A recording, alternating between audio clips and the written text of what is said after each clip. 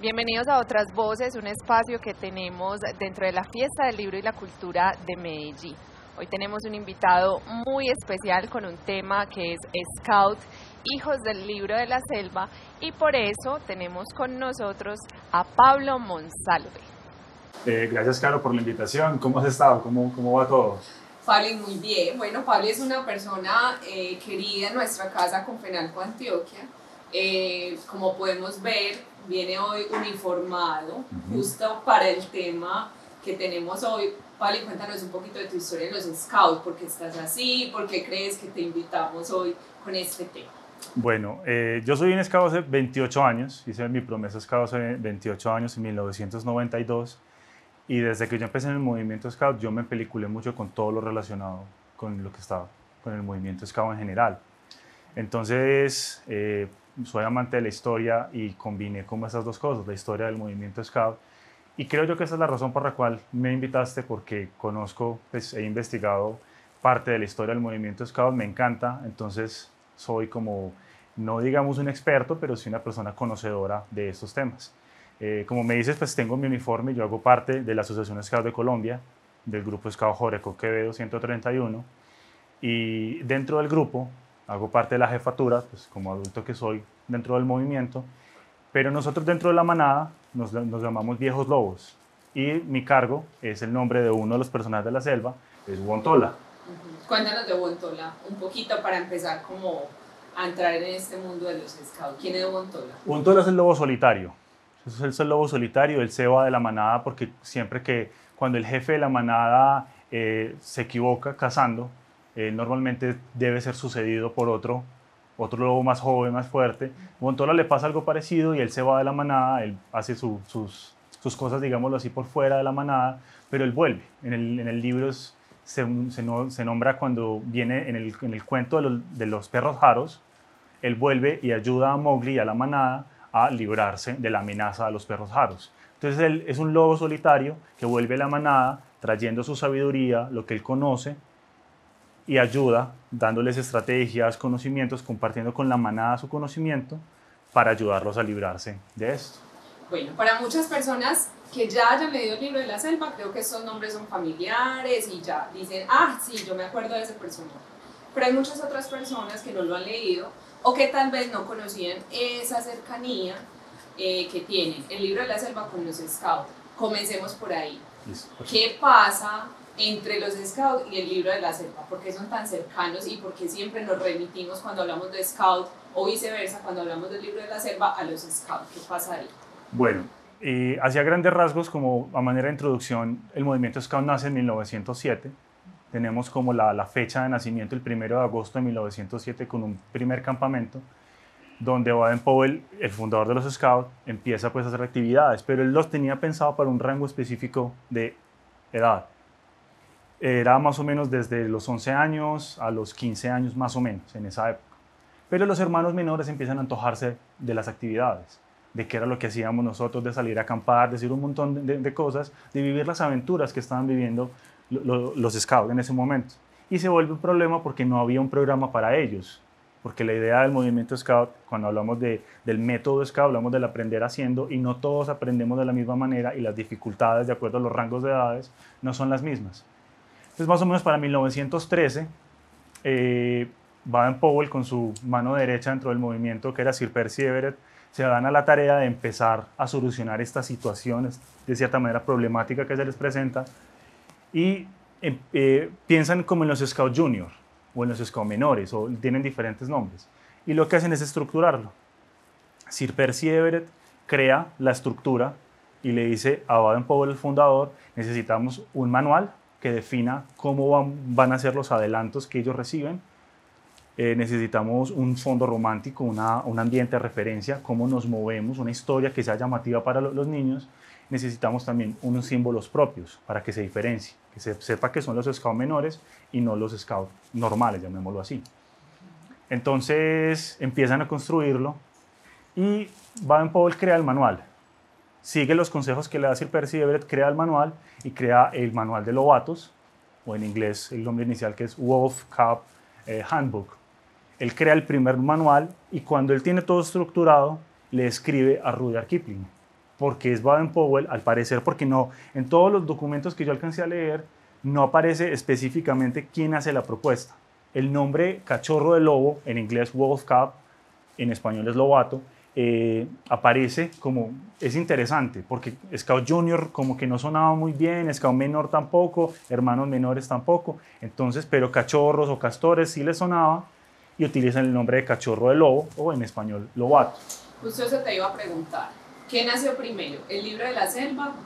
Y de ahí se inspiraron para crear los Scouts, o fueron primero los Scouts y comenzaron a tomar cosas... Eh, del libro de la selva o primero y se inspiraron en los scouts para crear el libro de la selva. ¿Cómo es ese relacionamiento entre el autor del libro de la selva, que es Roger Kipling, y Baden Powell, que tú nos estás contando que fue el que originó todo el movimiento? Bueno, Baden Powell y Rudyard Kipling fueron contemporáneos. Ellos vivieron en la misma época.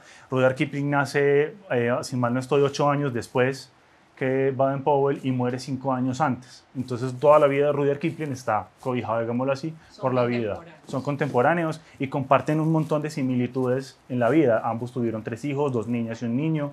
Ambos eh, padres, los padres de ambos fueron profesores.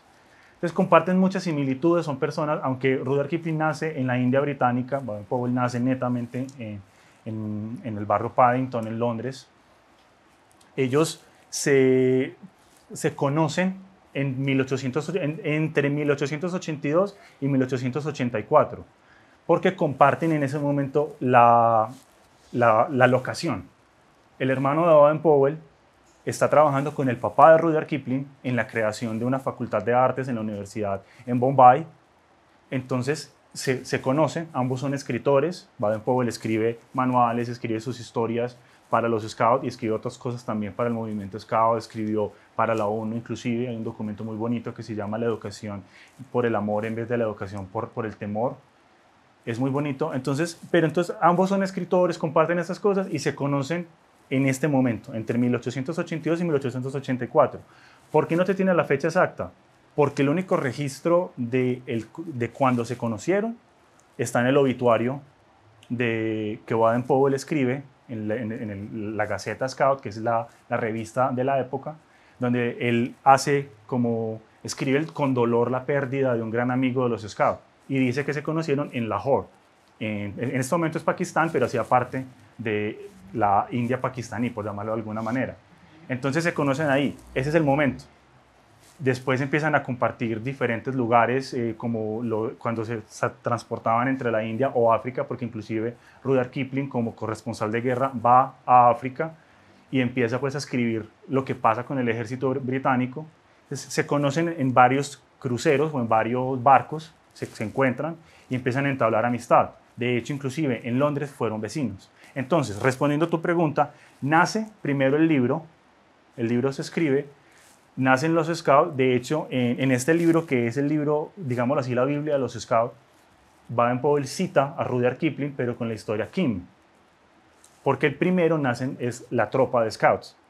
Luego nace la manada de lobatos y Baden Powell coge el libro, Las Tierras Vírgenes, vuelve a tomar a Kipling, pero ya ahora sí para crear toda esta historia que guía nuestro, digamos, qué hacer dentro de la manada de lobatos y lo toma como nuestro libro guía y es donde nosotros nos movemos. Entonces, estos dos libros, este es el libro de la tropa, que es Escultismo para Muchachos, y este es el libro de las Tierras Vírgenes. Es más o menos así que bueno, ya la cronología. Que tomaste el tema de los libros, entonces muéstranos por favor estos dos libros bastante especiales, mostrémosles a las personas de qué se trata y cuéntanos un poquito de ellos. Bueno, este es Escultismo para Muchachos, esta es la versión en inglés, la versión británica, ¿cierto? Scouting for Boys. Eh, fue el primer libro que él escribió. Nace el libro como Ayudas para la Exploración o Scouting, eh, Aids to Scouting, que fue escrito para cadetes. El libro empieza a ser leído por jóvenes y por niños en colegios y cuando él va de visita a Londres en medio de sus descansos durante su servicio en India y en, y en África, llega a Londres y se da cuenta que su libro es utilizado por los niños.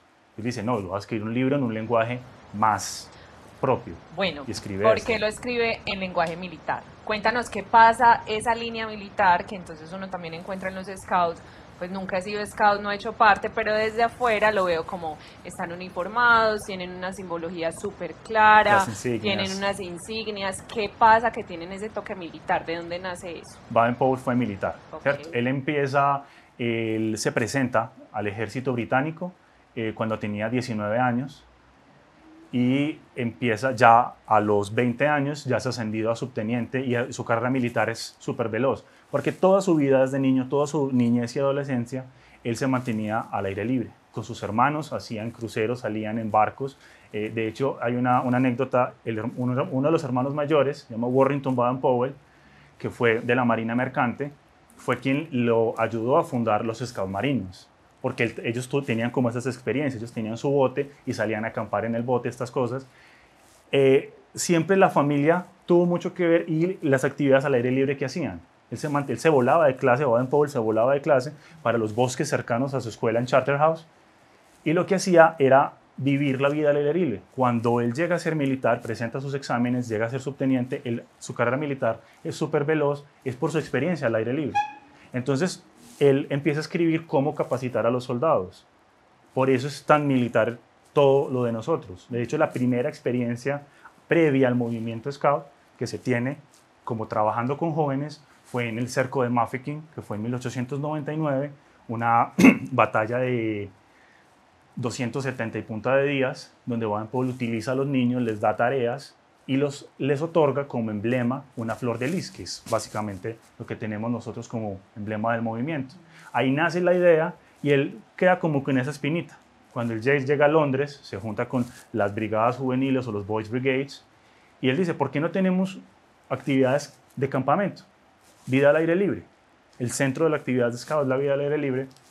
Yo le dicen, listo, y en 1907, el 1 de agosto, hace su primer campamento pero el movimiento se separa de las brigadas juveniles, que también tienen rangos militares, los niños tienen rangos militares, él se separa porque ya se, independiza, no porque haya una pelea con ellos, sino porque el movimiento crece por sí solo. Muchas tropas empiezan a formar eh, sin la necesidad de las brigadas juveniles. Entonces, primero nos llamamos una tropa de scouts, nos reunimos por patrullas, tenemos simbología muy militar. Pero detrás de toda esa simbología militar ya hay un movimiento completamente educativo que así se desliga. Tenemos jerarquías y cosas así, pero no, no manejamos nada militarista como tal. Ok.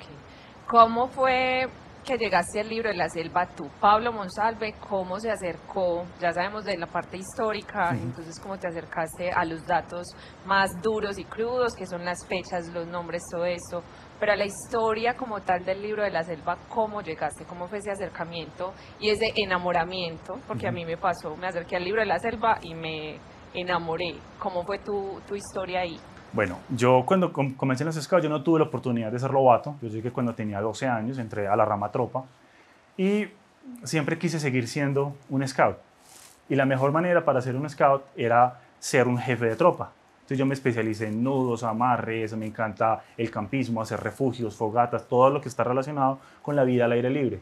Y los lobatos, pues, aunque mi primer cargo como tal, siendo dirigente, fue en manada, yo siempre quise ser dirigente de tropa. Ya cuando tuve la oportunidad me especialicé en la jefatura de tropa.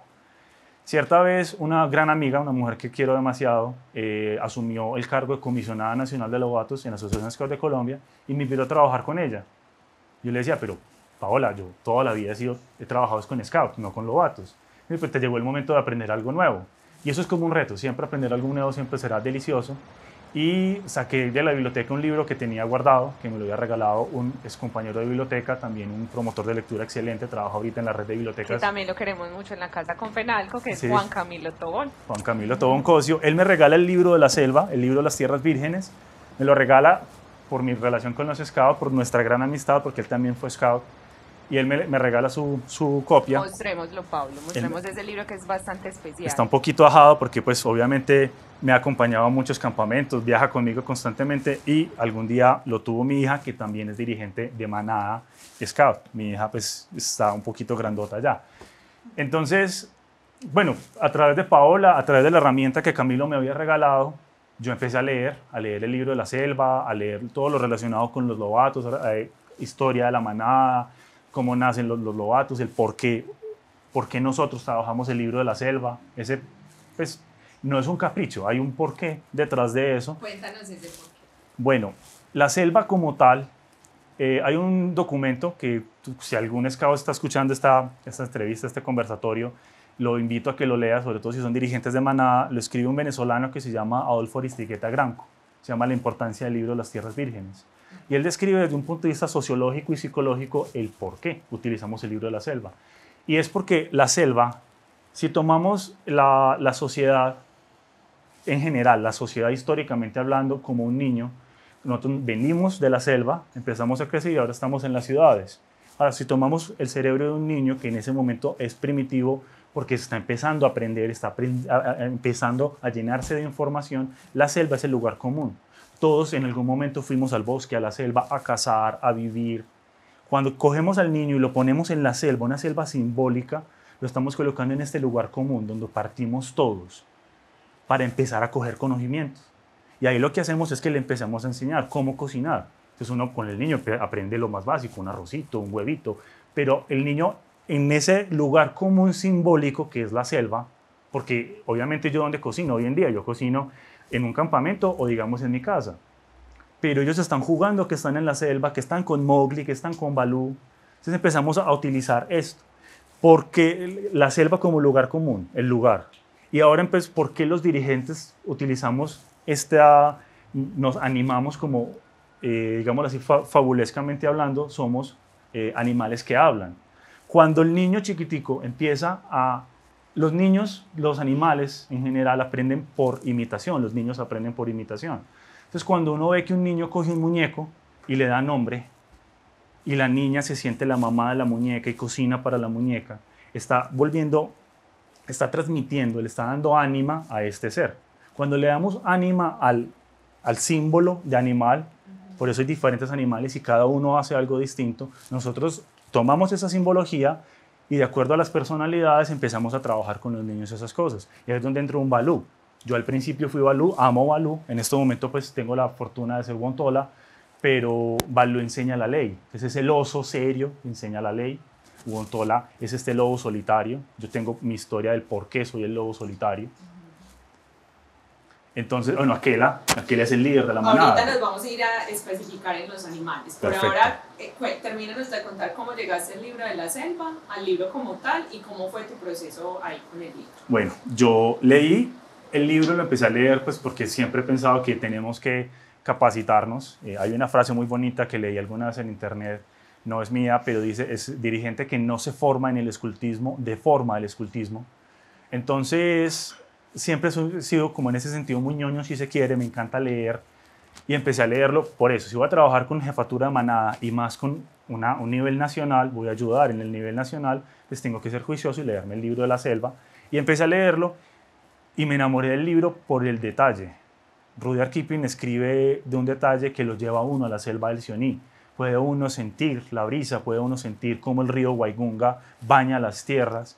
En la historia de cómo llega el miedo, uno ve al tigre lavándose la sangre en el río, porque en ese momento él puede y es su petulancia se lo permite. Pero es muy bonito esos detalles, uno ver el tigre, uno ver a Hatí, cuando hablan de Ta, el primer elefante que con sus cuernos empezó a, arar la tierra, a convertir las montañas, las cosas. Esas historias como las cuenta Kipling desde el folclore, esas cosas, eh, fue hermosísimo. Para mí fue realmente hermoso. Y me encantó, me enamoré del libro. Me dio de cierta manera como un poquito de piedra con Disney por la manera en que Disney transforma el libro, como me pone acá, como si fuera literalmente una boba, como eh, Balú es tan, tan juguetón cuando él es más serio. Eh, como él muestra, es muy serio. Él es muy serio. Muy. De hecho, en el libro él es el que castiga a Mowgli y, y, y es Bagheera la que lo mima. Y también eh, no te pasó un poco que en el segundo, en, en claro, lo, lo, que conocemos y pues gracias. a también hay algunas personas que se han acercado al libro como tal, todas estas series de Disney y las películas, eh, pero también como que olvidan un poco que el libro de la selva está compuesto por dos libros, que es el libro de la selva y el segundo libro de la selva. En el segundo libro de la selva vamos a encontrar muchos otros personajes que nunca son mencionados en otros formatos eh, que con los que tú mencionas, por ejemplo, de Disney. Entonces creo que ahí también es muy valioso ahondar en eso y contar pues que hay otros personajes que son muy importantes para el libro de la selva, pero que se presentan solo hasta el segundo libro de la selva. Entonces, es necesario leerlo completo. Por ejemplo, el personaje que tú eres en este momento dentro de los Scouts se presenta en el segundo libro de la selva. En, la casa, en la, los perros aros. Bueno, em, ahora que estabas mencionando Balú, Bagira, eh, Aquela, ¿Cómo son estos roles dentro de los scouts? ¿Quién es quién? ¿Por qué? ¿Cómo los nombran? ¿Cómo funciona esa parte de los roles y de los nombres? Que son personajes dentro del libro de la selva que acompañan a Mowgli y a otras muchas historias que hay acá. Eh, y cómo eso se traduce a lo que pasa dentro de una manada en los scouts. Bueno, como es normal, eh, quien dirige la manada, el jefe de manada, dentro de la manada se le conoce como Aquela, al igual que el libro. Y siempre será Aquela, no importa... El líder de la manada. El líder de la manada, no importa su género, sea hombre, sea mujer, siempre será Aquela. Y Aquela es quien dirige a los otros viejos lobos, que somos los otros jefes. Tú eres un viejo lobo. Yo soy un viejo lobo, en este caso soy Ubontola, algún día fui Balú, fui Balú, yo amo los osos, me encanta, pues en mi historia scout yo fui a la patrulla osos, entonces siempre es mi animal favorito, cuando empecé a ser dirigente de manada fui Balú, pero pues por cosas del destino ahora soy Bontola. Es simplemente un cargo. Pueden mutar cuantas veces quieran, eh, ¿cómo se les dice? Personaje, rol, de... Nosotros le llamamos nombre de casa. Nombre de casa. Pero este nombre de casa está más relacionado con el cargo. Si por alguna razón eh, yo pasara a ser el jefe de manada, porque la que el actual se retiraría, porque necesito un descanso, por cualquier razón, yo asumo la jefatura de la manada, yo dejaría de ser Bontola y pasaría a ser aquella. Ah, ok si algún día fui Balú y soy, pues yo puedo mañana ser Balú por cualquier motivo cambiar. La idea es no cambiar mucho, pues porque también uno crea una identidad, con los niños. De hecho, me llegó a pasar cuando fui Balú que un padre de familia, eh, yo lo, llamaba a invitarlo para, para, el campamento, porque teníamos actividades con padres de familia. Me dijo, disculpe, le pregunto, ¿usted se llama Balú? Yo, no, no, no, no, no, señor, mi nombre es Pablo, mi cargo es Balú, y me tocó explicarle. Pero darle es eso, contexto. darle contexto, exacto. Eh, Aquela siempre será el líder y siempre será la persona que está al frente de la manada de los lobatos, quien da la cara ante el resto del grupo por los lobatos. Eh, Balú, como lo dice el libro, es el oso pardo que le enseña la ley, es el que está pendiente de él, que le enseña la ley de la selva, el que enseña qué es lo correcto, qué es lo, que no es correcto. Que es un personaje muy disciplinado, es un personaje riguroso, exigente.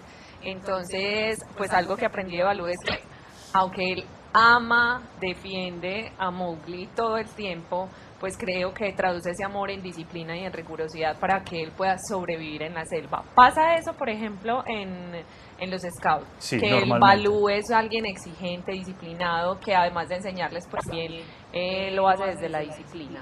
Idealmente sí, Idealmente sí, porque pues no falta el que asuma el cargo, pero no tenga como tanto ese rasgo de personalidad y se vuelve muy madre con los niños. Alguna vez cuando yo llegué a este grupo, al José Quevedo, había un Balú José, que él es el eterno Balú de nuestro grupo, así él ya no esté presente ah, eh, en el grupo, pues está vivo, pues gracias a Dios, pero no está en el grupo. Entonces, José es juguetón, él es cansón, pero es lo que dices, cuando él tiene que asumir su papel de Balú y ser serio, tener que corregir a los niños, esas cosas, él es muy disciplinado.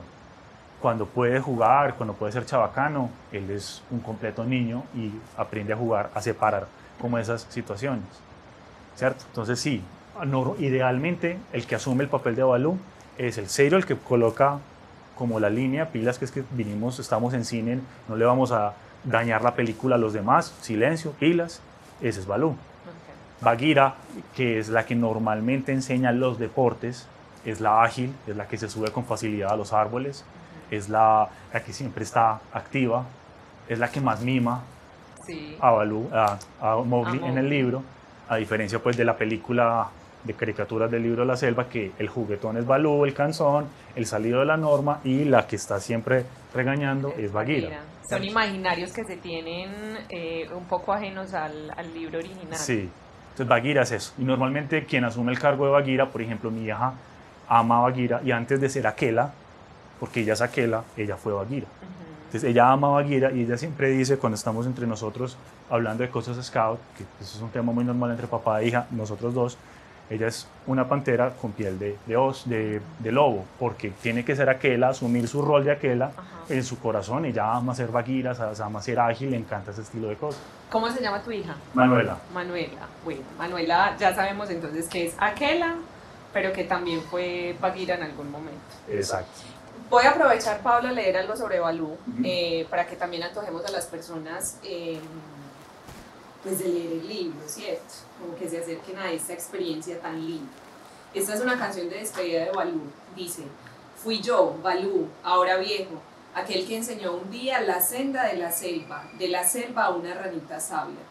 Un recuerdo de Balú, ahora viejo y ciego, cumplid entre los hombres la ley de su manada.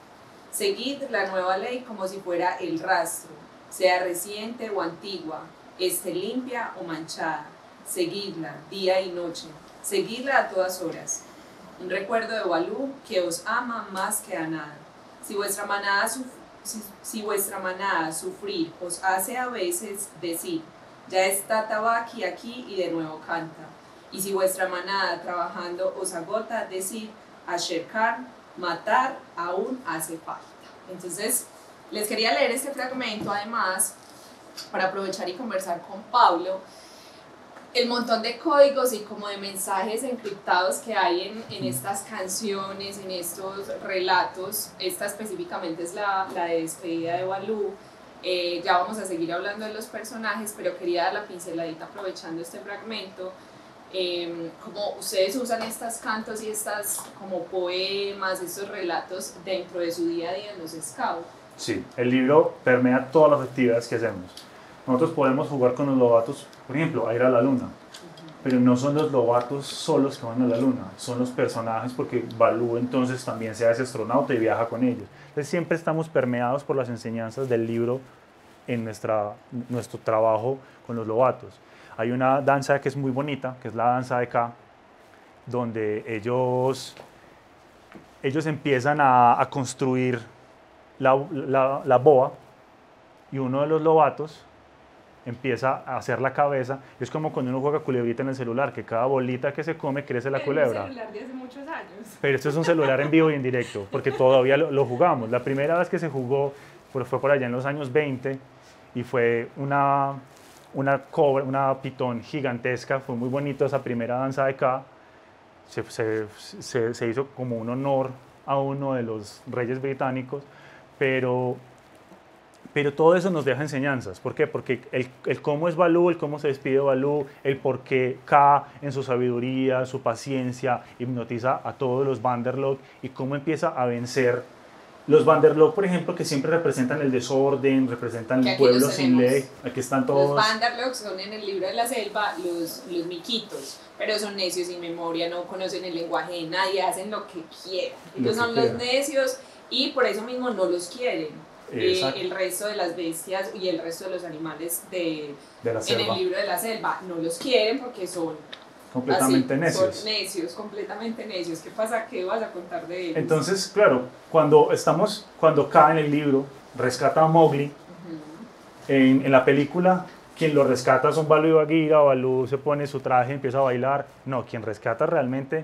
el, el, el eje del rescate es K, porque K logra hipnotizarlos a todos y cuando se los empieza a devorar, no se devora simbólicamente a los Vanderlog, se devora esa vida desorganizada, sin ley, y vuelve a Mowgli, no a la vida rígida que no puede salirse, porque Mowgli también juega, Balú juega con Mowgli, pero deja esa vida sin ley para acostumbrarse a vivir dentro de la ley, vivir en la hermandad de su manada. Cuando yo leía el por qué Baden Powell escoge el, libro de la selva es por los valores, por la fraternidad, porque Mowgli siempre vive con sus hermanos. Cuando Mowgli en la historia se va a donde Mesúa, que es su madre biológica en la, en, la, en la, tierra de los hombres, los, sus hermanos le dicen, sigamos en contacto, sigámonos encontrando.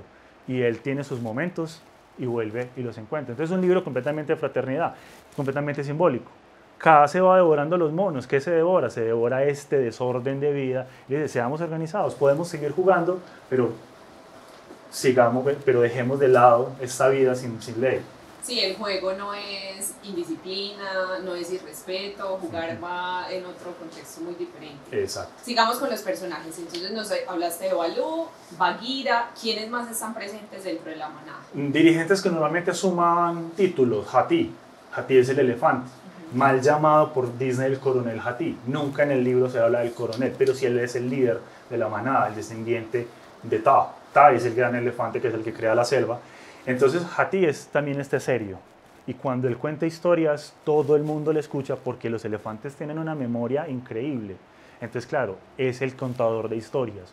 Pero él cuenta las historias también para recordar el por qué la selva es actualmente como es. ¿Por qué seguimos la ley de la selva? ¿Por qué nos respetamos? Está Hati. Que en Ibagué tengo un gran amigo que siempre ha sido Hati. Eh, tengo una duda.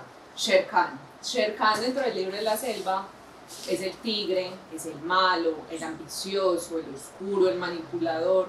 ¿Hay personajes así dentro de la manada? Hasta donde yo tengo entendido, en toda mi vida como esclavo jamás he visto un dirigente que asuma como Shirka normal, desde siempre, constantemente. Uno a veces puede nombrar un Shirkan temporal. Hay una ceremonia que eh, yo, algún día con otros hermanos scout escribí como una especie de guion para la consagración del Lobato y ahí se necesita un, un, Shirkan, porque Shirkan está presente cuando presentan a los lobatos en el círculo de roca, cuando presentan a Mowgli. Entonces yo siempre intento que un dirigente, sobre todo por ejemplo el dirigente de clan, el jefe de clan, que son los scouts más grandes, que es como la... Los niños siempre quieren seguir siendo niños y cuando mucho pues pasar a la tropa, pero llegar al clan, que son los más canzones, los más bruscos, porque son los scouts más grandes. Entonces colocar al jefe de clan como Shirkan es colocar ese ejemplo de de lo que no se debe hacer, pero es momentáneo, porque el jefe de clan pues, es una buena persona, llamémoslo así. Pero en ese momento es el que se quiere llevar a Mowgli, y obviamente el niño no quiere estar con los grandes, quiere estar con los pequeños. Pero que sea constante, que asuma el rol de Shirkan, no, Shirkan siempre está ahí, tácito.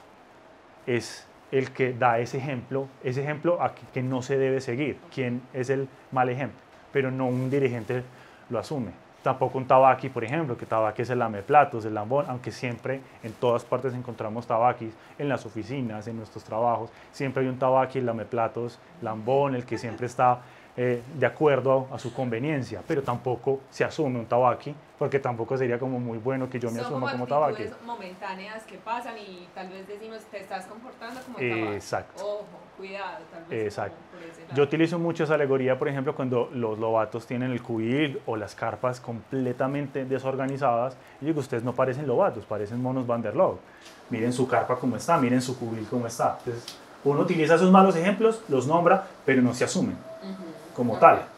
Eh, mencionas algo ahí que quería preguntarte. Tenemos los personajes, mm, pero también hay lugares muy simbólicos dentro del libro de la selva que tengo entendido son importantes para los scouts. Eh, y personajes que, no, aunque no son animales, sí cumplen un papel muy importante dentro del libro de la selva.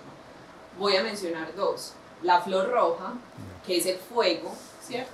Entonces el fuego es lo que le permite a Mowgli también eh, defenderse y mostrar como su poderío con Sher Khan eh, y en la manada.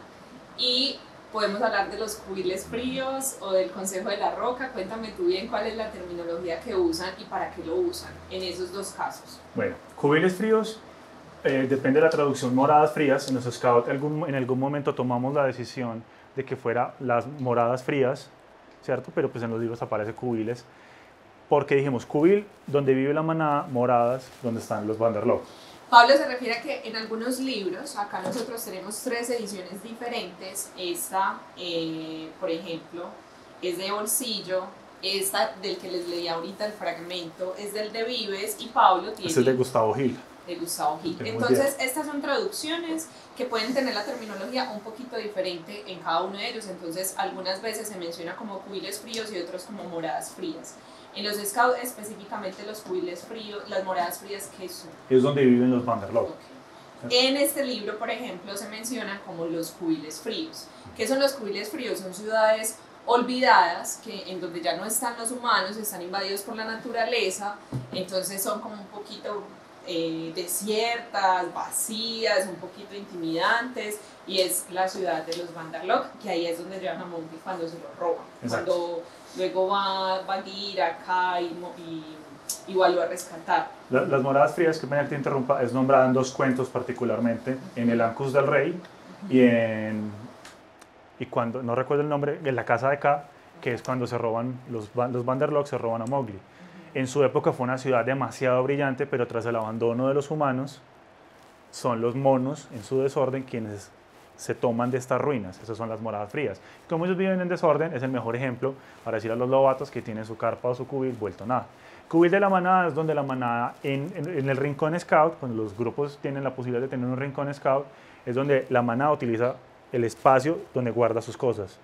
Sus símbolos, el tótem de manada, las banderas, la bandera de manada, sus cosas particularmente. Lo que llamamos el libro de oro, que es donde registramos a qué campamentos ha ido la manada, ese estilo de cosas. El cubil, donde se, guarda eso, y en campamento o acantonamiento es donde duerme la manada, cubil de la manada, que en el libro es básicamente la casa de papá y mamá lobo.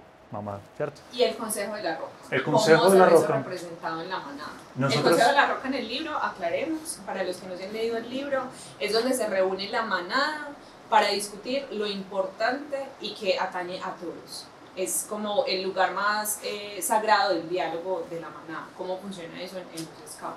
Nosotros dentro de los scouts tenemos órganos de gobierno.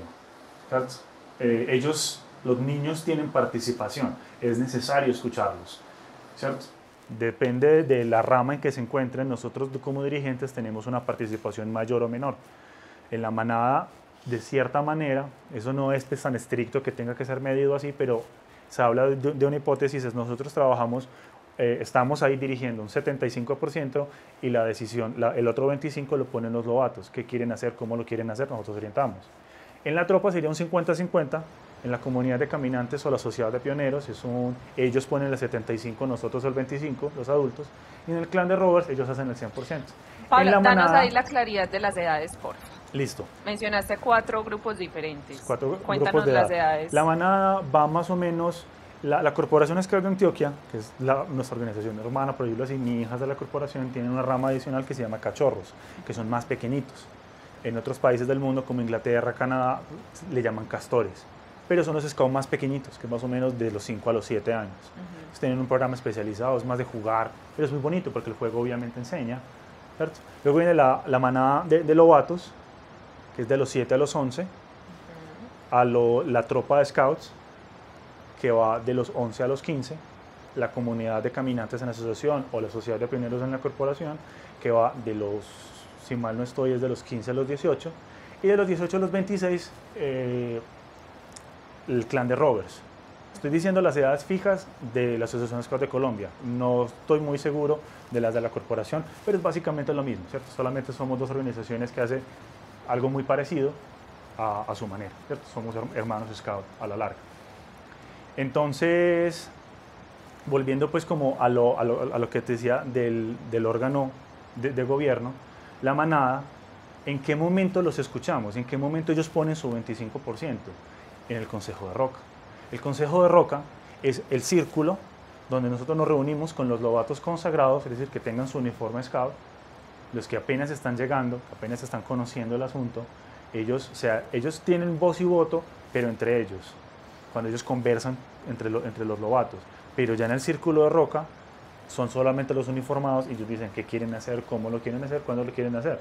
Ese 25% nosotros ya lo volvemos realidad, los adultos, que somos los que tenemos que gestionar, convertir una idea de viajar en la luna, que un lobato tiene que se va a montar un avión y realmente va a viajar a la luna, nosotros lo convertimos en un juego. Es por eso que nosotros somos ese 75%.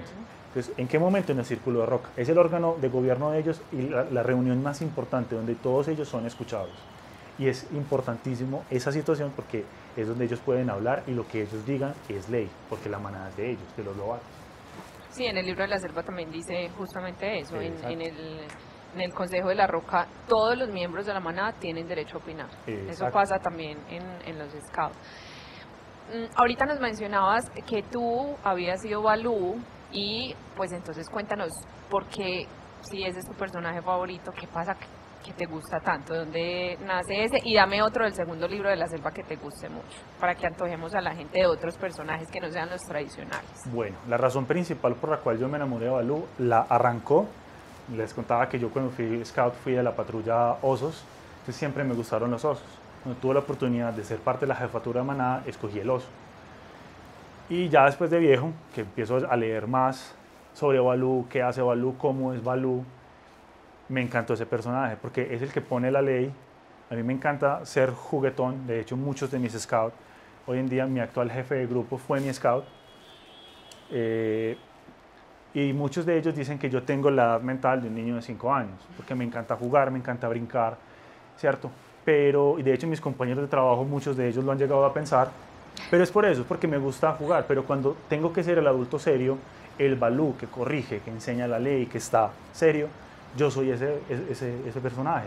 Por eso me encanta Balú. Primero porque se la sabe todas, se, se comunica con todos.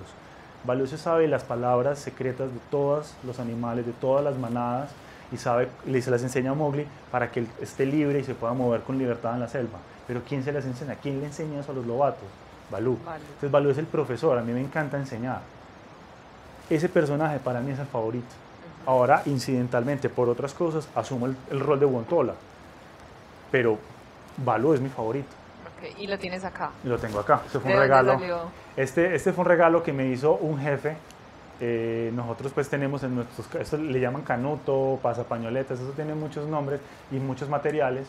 Y alguien le dio por empezar a hacerlos en porcelanicrón arrancaron con K, porque K es el más fácil, K es una culebra, entonces simplemente hago la culebra que se enrolla y ahí tengo mi pasapañoletas. Y alguna vez este dirigente curioso lo, lo, encontró, eh, Pacho, y, me lo regaló, porque él sabe que a mí me encanta Balú. Entonces siempre, siempre llevo pues como a Balú encima de mi, de mi canuto, de mi nudo. Bueno, y dame un personaje del segundo libro de la selva, que no hayamos hablado de él para que la gente de pronto se quede con la inquietud. Eh, bueno, uno, me gustan todos, pero les voy a hablar de uno, uno para que se, se animen a leer en el Ancus del Rey. Hace poquito tuvimos una actividad nacional virtual con los lobatos de Colombia. Se conectaron de todo Colombia, fue muy bonito. Y hay un personaje muy particular, que es la cobra blanca. Y me gusta la cobra blanca por su lealtad. Ella cuida los tesoros del rey. Y es la persona, es del personaje, no la, eh, la persona es una cobra el personaje que está cuidando los tesoros del rey. Y es muy bonito porque ella permanece, ya desconoce que ya no hay ciudad arriba, que toda la ciudad de la que ella habla, de sus amos, de los reyes, desaparece. Ella lo desconoce porque ella, con la, lealtad que le guarda a su rey, protege el tesoro. Así ya no haya nadie. Así ya no haya nadie. Y no les voy a hacer el spoiler del, del, del del Rey para que se lo lean, pero aunque esté viejita, sigue al frente y, recuerda, recuerda todas las historias. Es más que apegarse, más que el apego, me parece que la cobra blanca representa es, esa lealtad tan bonita y tan necesaria hoy en día, la lealtad de nuestros amigos, a nuestros padres, a un montón de cosas. Entonces, voy a responderte con la cobra blanca. Em, aprovechando que estás hablando como de, tal vez algunas actitudes o como valores Em, que son difíciles de promover cada vez que avanza el día a día y que estamos como a una velocidad tan acelerada, tenemos poco tiempo para dedicar, eh, como enseñarle a los niños esas cosas como chiquitas y valiosas que siento de alguna manera a través de todos los relatos que nos has hecho, hacen en los scouts. Entonces, quisiera que de alguna manera le contaras a esos papás que están en sus casas, a los tíos, abuelos, ¿por qué usar el libro de la selva como excusa para acompañar a los niños en su proceso de crecimiento?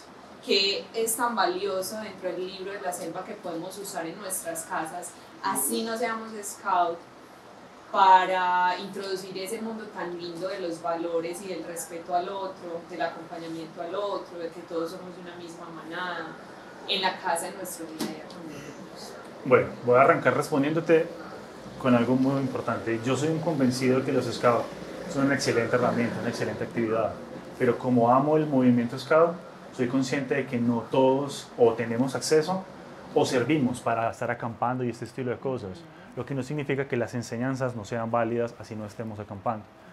El libro de la selva, como lo decía Adolfo Aristegueta Granco en su documento, nos presenta todo un proceso de aprendizaje del niño cómo el niño empieza a descubrirse a sí mismo, cómo sale de esta selva psicológica y empieza a conocer la ciudad y cómo crece el niño y cómo madura. El libro de la selva, en el proceso de Mowgli, de Mowgli se descubre a sí mismo, luego se descubre como humano, él se descubre primero como miembro de la manada y luego se da cuenta que hay una tribu de hombres y él entiende que debe abandonar la, selva para irse con Mesúa y con los hombres. Eso es lo mejor que hay para mí, la manera en que eh, Rudyard Kipling narra esta historia y cómo lo hace, en el orden que lo hace. Porque eso es otra cosa, cuando yo leí el primer capítulo, me contaron como la historia de Mowgli. Y yo, bueno, ¿qué pasó acá? ¿Dónde están los detalles? Los detalles se van contando. Entonces uno puede partir, ir contando los libros en el orden que uno quiera. Uno como padre de familia coge el libro, se acerca a él y le parece importante, ¿por qué no jugar o por qué no simplemente leer en voz alta que es tan importante? En cuanto a la promoción de la lectura, leerle a nuestros hijos en voz alta. Hay cuentos que, son, que no son para niños muy pequeños, como el libro de los perros jaros, por ejemplo. Ese libro es muy violento.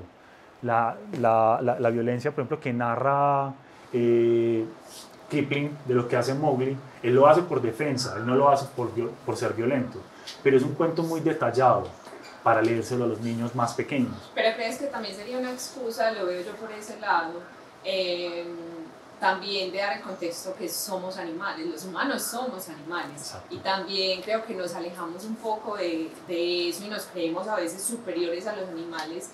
Y creo que por lo que me has dicho y también por lo que encontré en el libro de la selva, es una excusa para aterrizar el asunto. Venga, los humanos también somos animales, tenemos un instinto, también podemos reaccionar de manera instintiva y a veces sin pensarlo y que lo hacemos todo el tiempo en nuestro día a día, solo que no lo hacemos consciente. Y creería que ese tipo de relatos con un acompañamiento eh, y una explicación por parte de un adulto eh, sería como valioso también. Lo que dices es exageradamente valioso desde el punto de vista en que en este momento, en la situación actual en la que vivimos, de la sociedad, la naturaleza, calentamiento global, lo que quieras poner, a nivel político, no político, lo que quieras poner, para mí Mowgli es el humano perfecto y es el ejemplo perfecto. ¿Por qué? Porque él es el humano que sabe que es humano, es temido en la selva de cierta manera por ser humano, pero él se desprende de muchas de esas humanidades para vivir a uno a uno con la naturaleza. Entonces, en este momento, las enseñanzas que Mowgli nos da, que Kipling nos da a través de Mowgli, son súper super bonitas y súper necesarias porque es desprendernos de esa superioridad de la naturaleza. Con el Ancus del Rey pasa algo parecido. El Ancus es una joya. No les voy a hacer spoilers del, cuento, insisto, pero el, el, Ancus es una joya y Mowgli la coge por curiosidad. Y cuando se da cuenta de lo que esa joya le hace a los hombres, esa la devuelve a la cobra blanca. ¿Pero en qué contexto? Él dice, yo me desprendo de esto, yo no quiero nada que ver con esto. Él se reconoce humano, pero cuando ve lo que esa joya le hace a los humanos, él huye. Dice, no, él la devuelvo. Para mí no representa nada, entonces, esos cuentos del valor del desprendimiento, de la sencillez, de, ser uno con la naturaleza, el cuidado de la naturaleza, el ver, eh, hay un, detallito pequeñito, el patrono de los, de los lobatos es Francisco de Asís. Entonces, esa, esa visión de cómo Francisco se hacía uno con la naturaleza, esa película, por ejemplo, que dice Hermano Sol, Hermano Luna, de cómo él como ermitaño vive en, un, siendo uno con la naturaleza desde su religión, desde su espiritualidad, pero entonces esa es la razón por la cual Francisco es el, el que está, el, el, patrono de nosotros. Es lo mismo con Mowgli. Más allá del cuento religioso, espiritual, Mowgli es este ser humano perfecto. ¿Por qué? Porque él desde los conocimientos que la naturaleza le da, él decide vivir uno a uno con la naturaleza, aun cuando él se va para la, la aldea de los hombres. Él no se olvida de sus enseñanzas. Entonces, lo que dices, claro, sabiendo guiar, sabiendo el por qué Mowgli hace lo que hace, el por qué en algunos casos es violento, eh, el por qué en algunos casos es rebelde. Esas cosas son importantes y como padres de, familia, ir leyendo los cuentos en desorden es muy bonito. Bueno, y también, eh, pues estamos hablando de niños, pero eh, yo soy una mujer adulta, hecha y derecha, y me lo leí y aprendí un montón. Y, y no solo porque, ay, me enseñó algo, sino porque me, me hizo un llamado a la conciencia, me hizo un llamado de respeto hacia el otro. Hay muchas formas de ver el libro. Yo lo cogí por ese lado de hermano, hermano, la palabra bye, bye, que lo vamos a encontrar en el libro, que significa hermano, hermano, tú y yo somos de la misma sangre. Entonces es como toda esta filosofía de estamos en una misma selva, si tú te cuidas, eh, me estás cuidando y si yo te cuido, también me estoy cuidando a mí mismo. Eh, creo que eso también es muy fuerte dentro de los scouts. Claro, el cuento de la fraternidad, el cuento de estar pendientes del otro, el cuento de no dejar a nadie atrás, el cuento de siempre protegernos, de que si alguien tiene frío, cómo podemos repartir las cobijas entre todos y los que no trajeron porque se le olvidó por cualquier cosa, todos estamos calientes. Es, es, es muy bonito eso, la hermandad. El movimiento Scout, básicamente, más allá de ser un movimiento educativo, que claramente lo es, es una hermandad. Pablo, y si alguien está en Medellín o donde sea eh, y quiere, le picó el bichito de, ay, yo quiero los Scouts, ¿qué puede hacer? ¿Cómo puede hacer para conectarse? Es demasiado fácil. Hoy en día nosotros estamos en Internet, estamos en Instagram, estamos en todas partes. Entonces, no es sino buscar Scouts eh, en Instagram, en, en, en Internet. La página de nosotros es scout.org.co. Es muy ¿Están fácil. en toda la ciudad, por ejemplo? Estamos en toda Colombia, estamos en, sí, en toda la ciudad. Nosotros tenemos el Scout desde, hay Scout en todas las áreas de Antioquia, en todas partes, en toda Colombia. ¿Hay un Entonces, límite de edad? eh, no, No hay ningún no. límite. Yo llegué a conocer una Scout de 80 y punta de años, una monja que había fundado varios grupos de Scout, una mujer hermosa, excelente, dirigente, una sabiduría increíble. Entonces, no hay un límite de edad. Eh, de hecho, hoy en día yo he tenido la oportunidad de reunirme, tengo grandes amigos Scout eh, que hicieron su promesa Scout hace mucho más tiempo que yo, en el 60, en los años 50, y son personas que puede que no sigan activas porque ya no, no quieren seguir portando el uniforme como tal, otros sí lo hacen, pero son personas que uno los llama, les, les pregunta historias o simplemente en compartir una cerveza, una gaseosa, como humanos que somos, y hay historias, hay enseñanzas y son scouts ex- excelentes. Entonces, límite de edad como tal no hay hacia arriba, hacia abajo. eh, si tienen cachorros como en la corporación, es desde los 5 años. La Asociación Scout de Colombia arrancamos desde, desde los 7 años. Eh, Pablo, ¿y qué tal si terminamos este espacio con tu fragmento favorito del libro de la selva? No sin antes agradecer a las personas que nos acompañaron durante esta hora y creo que la manera más linda es de cerrar eh, contigo eh, y cómo le leerías a tus lobatos ese fragmento del libro de la selva. Bueno, yo tengo, favorito. yo tengo una, una ventaja, digámoslo así, que varios dirigentes no tienen, muchos dirigentes no tienen, y es que como yo trabajo en bibliotecas, tengo algo, de cierta manera una formación en promoción de lectura. Claro, Pablo es promotor de lectura, entonces vamos a ver su, su versión, esta simbiosis entre promotor de lectura y, Y dirigente scout. Eh, a mí la parte que más me gusta está al inicio del libro, me gusta mucho cómo presentan a Mowgli, ¿cierto? Después de que Shere Khan pelea por él en, la, en el cubil de la manada y Rasha se planta con esa fuerza de mamá y dice, no te llevarás a Mowgli, él será mi hijo. Pero cuando ya llega el, el momento de susto, de presentarlo ante la manada, a ver qué dice la manada, esa parte me encanta, me encanta. Y claro, la parte que más me gusta es cuando es Balú quien habla por él y dice más o menos así. Ahora bien, la ley de la selva prescribe que, en el caso de disputársele a un cachorro el derecho de ser admitido por la manada, han de defenderle por lo menos dos de los miembros de esta, que no sean su padre o su madre. ¿Quién habla a favor del cachorro? preguntó Aquela. ¿Quién, que pertenezca al pueblo libre, habla en favor suyo? Nadie contestó. Y Mamaloba preparóse para lo que ya sabía que sería su última pelea, si al terreno de la lucha era preciso llegar. Entonces, el único animal de otra especie a quien se le permite tomar parte del consejo de la manada, Balú, el soñoliento oso pardo que enseña a los lobatos la ley de la selva, el viejo lobo que puede ir y venir por donde se le antoje, porque no come más que nueces, raíces y la deliciosa miel, se levantó en dos patas y gruñó. El cachorro humano, dijo, yo hablo en favor del cachorro humano. Ningún mal puede hacernos. No poseo el don de la palabra, pero digo la verdad. Dejarle correr con la manada y contadlo como uno de tantos. Yo mismo le enseñaré. Me parece súper bonito y se me ponen los pelos de punta. Muchas gracias a todos por acompañarnos en este espacio. Eh, seguiremos con la programación que tenemos en Confenalco Antioquia para ustedes dentro de la fiesta del libro y la cultura. Pablo, gracias. Eh, creo que fue un espacio muy rico, muy confidencial, por acompañarnos durante este ratico. Mil gracias. No, a ti por la invitación. Muchas, muchas gracias. Es para mí un placer hablar de esto. Me apasiona la lectura, me apasiona el movimiento Scout, la historia. Entonces, no, gracias. Y también pues como invitarlos a todos los los scouts que estén pendientes de la programación que está sobre nuestro libro, pues no nos podemos perder esto. Y a todos que, que quieran ser scout, que obviamente esto es un disfrute, esto es para todos. Es, a ti, Caro, muchas gracias.